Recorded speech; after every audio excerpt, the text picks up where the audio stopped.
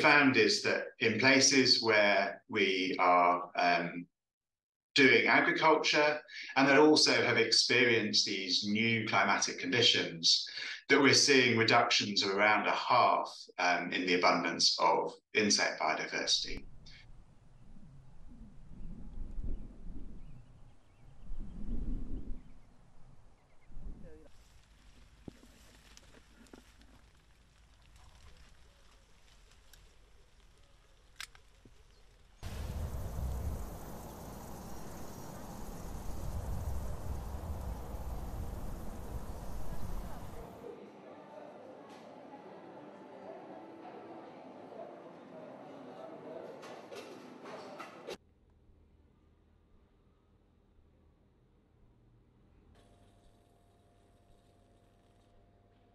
So we highlight two crops in particular in, in the paper, um, so coffee and cocoa, um, which are major crops that are produced in, in tropical regions and are you know, crops that we think will be particularly exposed to the, the new climatic conditions that are driving pollinator losses.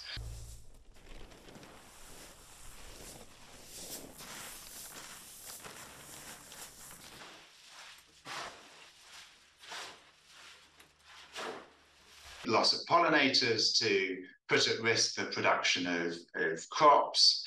Um, and this will you know, probably mean that the yields of crops reduce.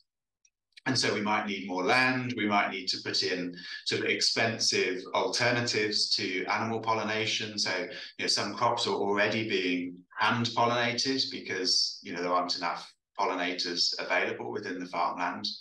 And of course, all of this is going to um, intensify in future.